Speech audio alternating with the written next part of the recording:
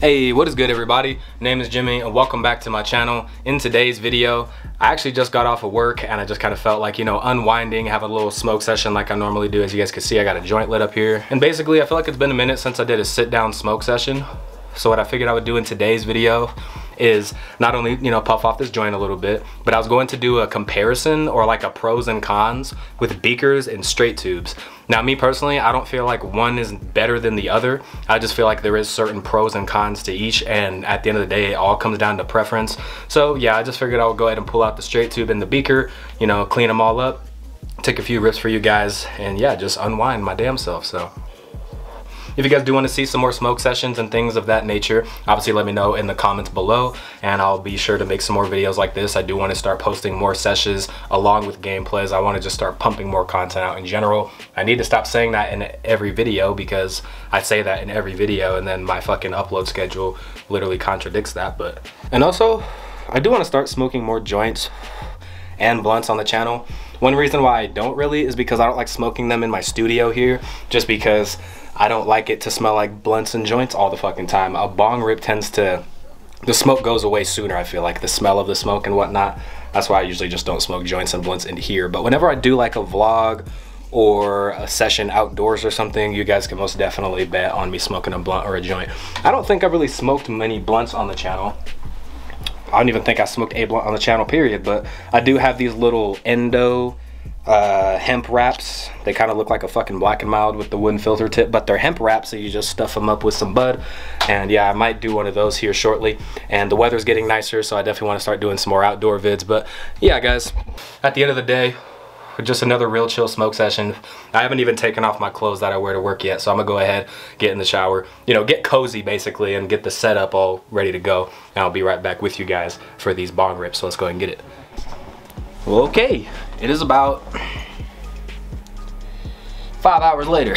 I took one of my quote unquote naps. I don't know how to take a nap. I don't know how motherfuckers fall asleep for 30 minutes and get back up like shit's like, no, it doesn't work. but anyways, we got both of our bongs here. We got our beaker and our straight tube. And like I said, we're just gonna kind of go through the comparisons between these two. And you know, at the end of the day, like I said, it's all preference. I'm just kind of letting you guys know what I personally think about these two. Also got a little bit left of this joint. Figure I'll smoke on this a little bit. Sick. One thing about me is these joints make me cough more than a bong rip will, and you guys will see that, but anyways, as I'm going and or as I'm smoking on this joint, figured I'll let you guys know about Gamer Supps. For those of you guys who know me, you guys know I drink Gamer Supps literally every day. Whether it's before work, before the gym, before recording sessions or whatever, I literally drink this shit every day. And I want you guys to actually hit the, well actually, let me just go ahead and breeze over this really quickly. I said in the last video that I got a strike on my channel. It was in February and it was on a seven year old video of mine titled Half Gram Bong Rips Number 2 and they striked it for child safety. And in my mind, I was really wondering how is this video getting striked for child safety when it's an age restricted video of a grown man smoking weed? And at the end of the day, what I boiled it down to is in the earlier stages of my channel, before I had any facial hair, I looked pretty young. And what I think happened is YouTube's automated system that we all know about must have targeted the video because they probably thought it was an underage kid smoking or something. And so they just took the video down and struck the channel.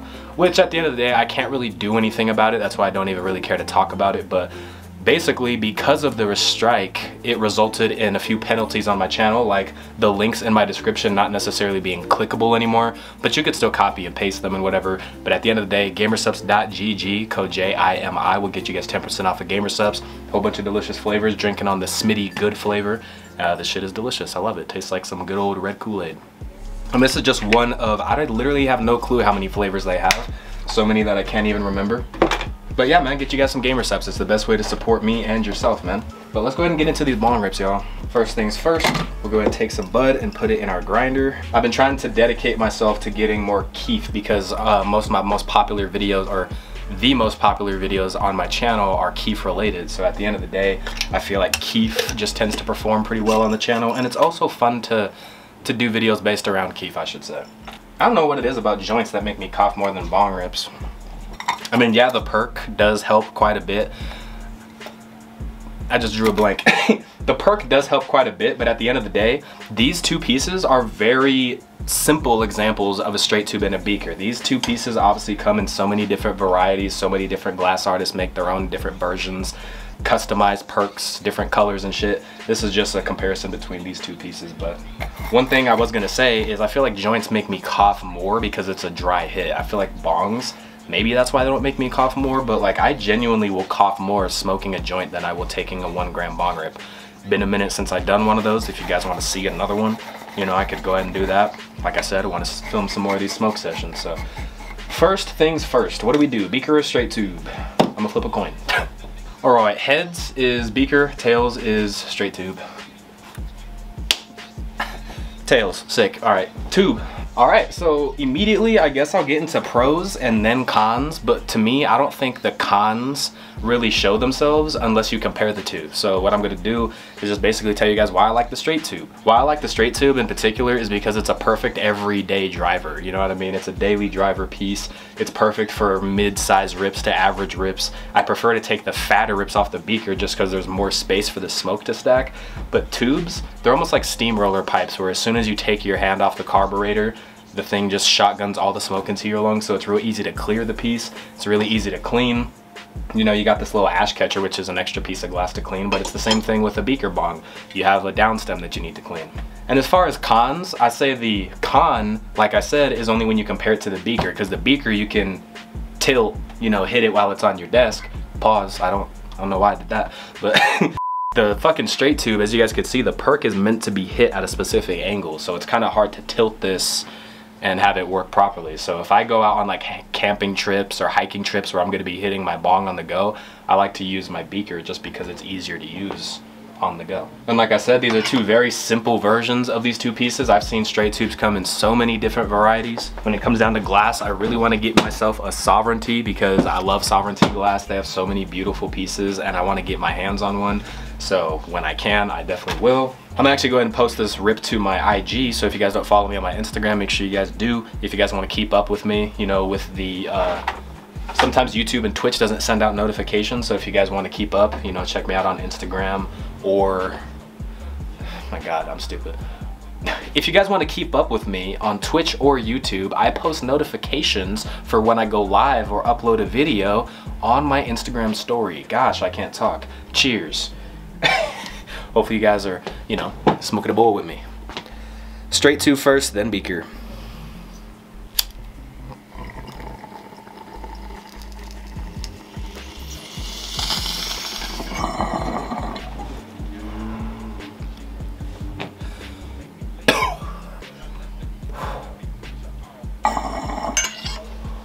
All right.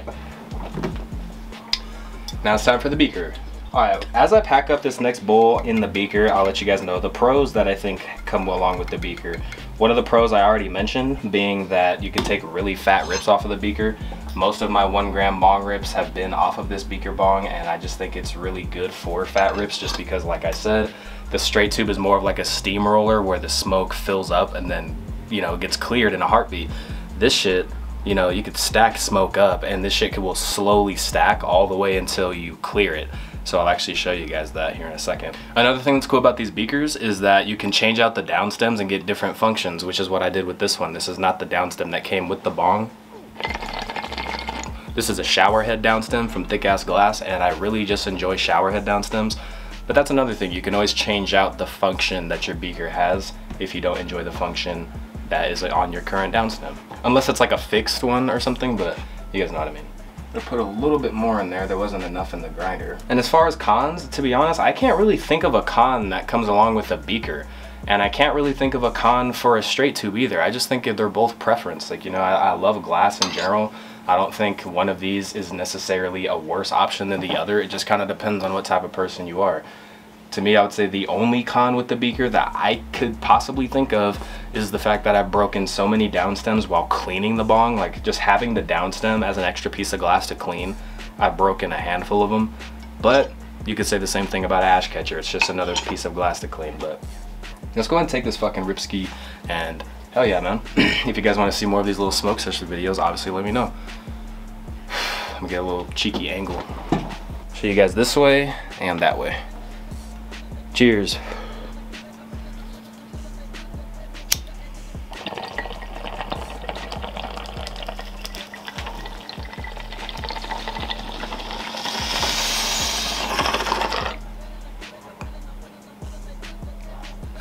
It's really smooth too. I mean, so is the uh, the straight tube, but the straight tube clears so much quicker. Hell yeah, guys. Just another little chill smoke session video. If y'all want to see more little session videos like this one, obviously leave it in the comments below and even video game suggestions, just content ideas in general. And you know, other than that, that's gonna wrap it up for this little smoke session. You know what I mean? Leave a like, comment, subscribe, all that other bullshit that YouTubers usually say. Peace out, y'all.